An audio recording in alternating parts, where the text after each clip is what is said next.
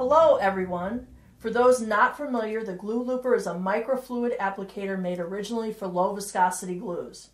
It's designed to deliver an invisible glue job to substrates utilizing a seam that has been pre-positioned. Currently, it's being used for many types of applications and mediums. We have had requests from many of our customers to make a high viscosity version. At this time, we are in the planning stages of making this a reality. We are looking for $5,000 for research and development, prototyping, packaging artwork, and initial production run. Thank you for checking out our video, and if you have any other further questions, please head over to our website.